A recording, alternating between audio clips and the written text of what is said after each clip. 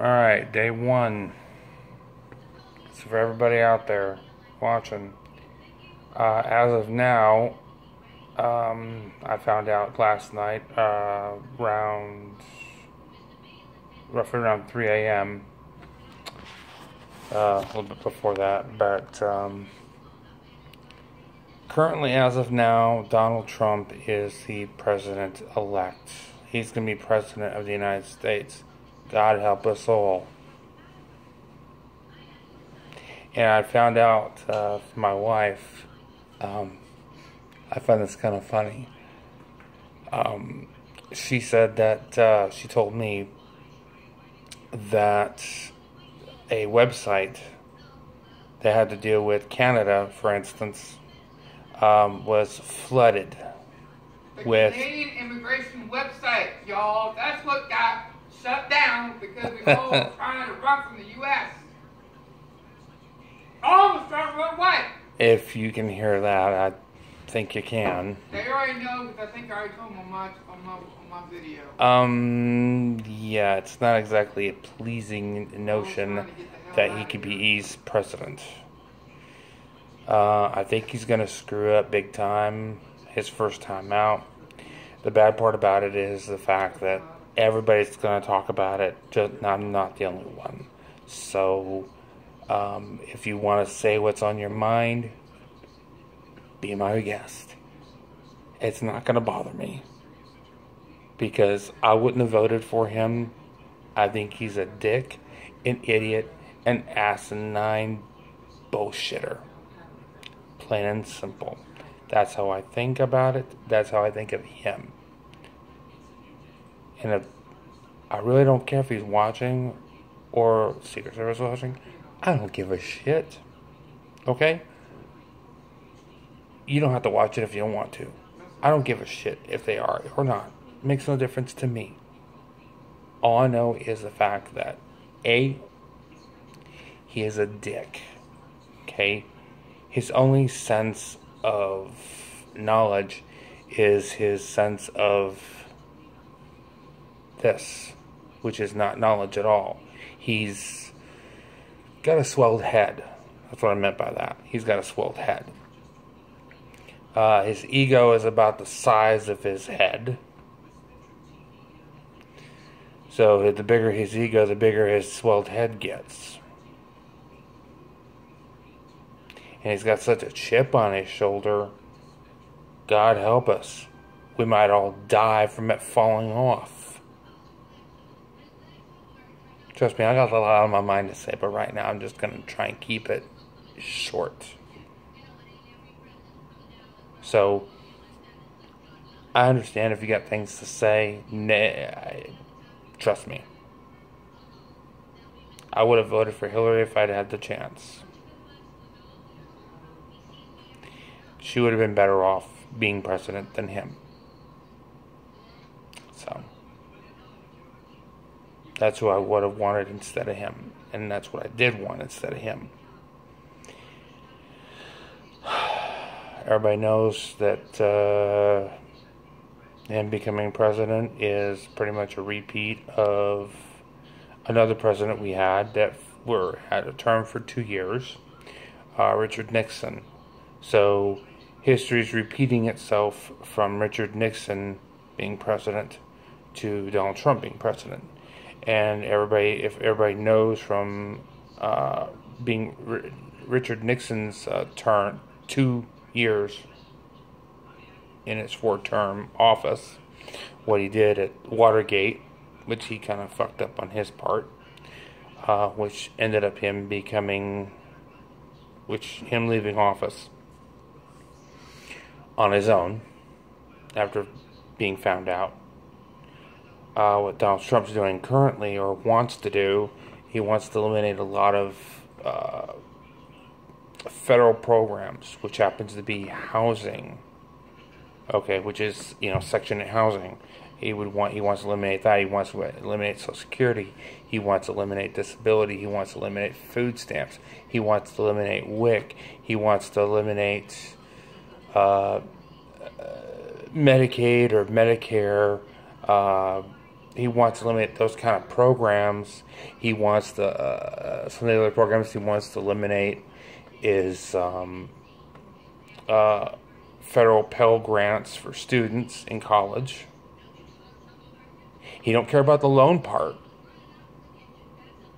God forbid if he gets rid of the loan part. I wish he would, but unfortunately, he's getting rid of the stuff that actually matters instead of the stuff that doesn't matter. And the stuff that does matter, it's going to put this country so far back. I figure it's going to put this country back six, by 60 years behind. He's already talking about deporting um, Hispanic uh, citizens who are already currently U.S. citizens. Anybody who's not a natural U.S. citizen, he's saying Hispanics, anybody from other countries. Uh, he's even thinking about, and he said this himself, he's even thinking about deporting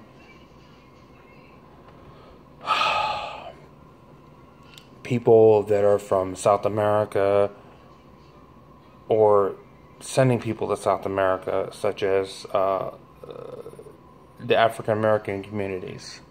And he's really, really pissing people off. He's got me pissed off big time. I mean, you just don't do that to people. And I also think he's probably going to end up uh, his first time out I think he's going to, uh, gas prices, I know are going to rise for sure. Uh, cost of living is definitely going to rise for sure.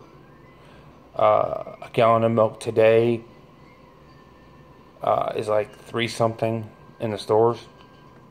Well, when he gets further into into it, I'm pretty sure it's going to cost nearly ten dollars for a gallon of milk. Uh, for what we pay on gas currently, I'm looking at like a dollar eighty-eight or dollar eighty-nine. Okay, what we pay for gas now, and we take it for granted. I know we do. What it costs now, since he's in office, we're going to end up paying three times the amount that we currently pay now. Some of us are paying two dollars a gallon. Well, it's going to be about three times the amount, three times that amount. So we're probably going to be paying almost the same amount as a gallon of milk. For real. I mean, that's inflation big time on his part. So I told a lot of people be ready for a roller coaster ride that's never going to end. Uh, I have a feeling, and I strictly have a feeling that his reign of terror is going to be the end of him or the end of his term. Who knows? He could be in office for one month and be impeached for a lot of the stuff he wants to do. I mean, I know a lot of some of the stuff he wants to do has to be voted. But since he's got the Republican vote, it just might happen. Who knows? I'm hoping it doesn't. But I really don't want none of that stuff to happen, to be honest. Uh, but I'm also thinking that he wants to bring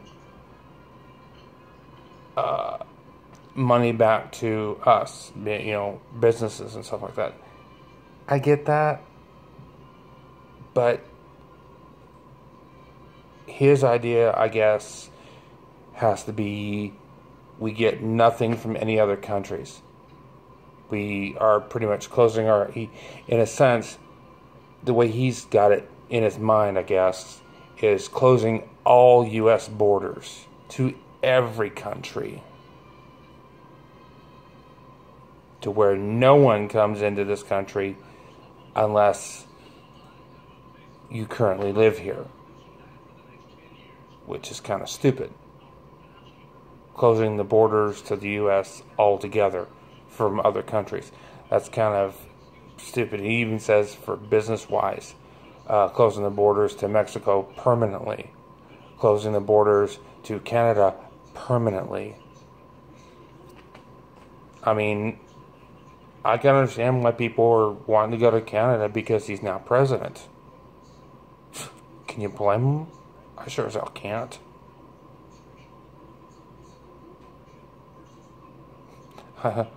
I I suggested the same thing to, to my brother Matt, I and my wife, and God forbid if they both agree.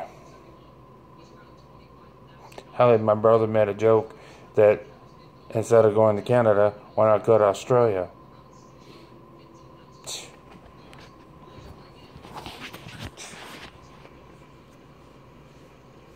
Um, there was a lot of people up at my job um, that were generally pissed off. Everybody was talking about it at my job. I mean, who's not? Everybody's going to be talking about it constantly. So, say what you want, get it off your chest. I've just barely scratched the surface of what I want to say. So, have at it.